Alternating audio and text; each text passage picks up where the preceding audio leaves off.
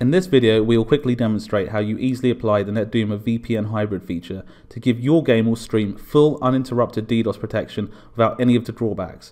We'll explain how this feature works in a separate video. See the link below if you're interested. Okay, to start with, I don't have any VPN enabled. So when I search Google for my IP, you'll see that my true IP is revealed. If an attacker were to get this, they could hold my connection hostage. So let's first connect to a VPN to mask my IP. This is the NetDuma's router interface, which you can access using any web browser. It's very easy to apply VPN, just enter your login details and click apply.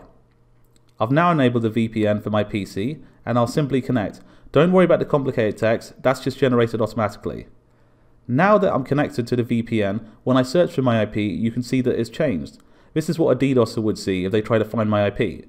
So if they attack me, my VPN server would go down, but I could easily switch to another one to get back online. So now I'll play a game of CSGO for a bit. Apologies for the lack of skill on my part, I'm more of a Quake Halo player myself.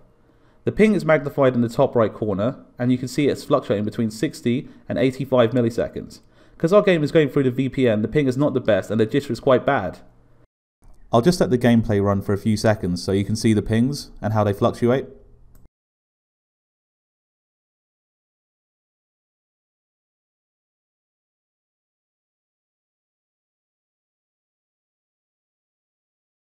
So now, I will use the hybrid feature of the VPN. By adding CSGO, which is a source engine game, to my exception list, my game will bypass the VPN and be on my normal connection. I'll now reconnect to the same server as before, so you can see the difference between the pings. The ping in the top right is now far more steady and half the value it was before I was on the VPN.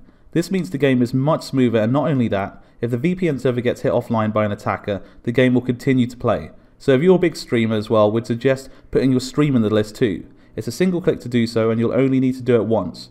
This feature works for LoL, Dota and other Source Engine games too. So in summary, the VPN hybrid gives you the best of both worlds.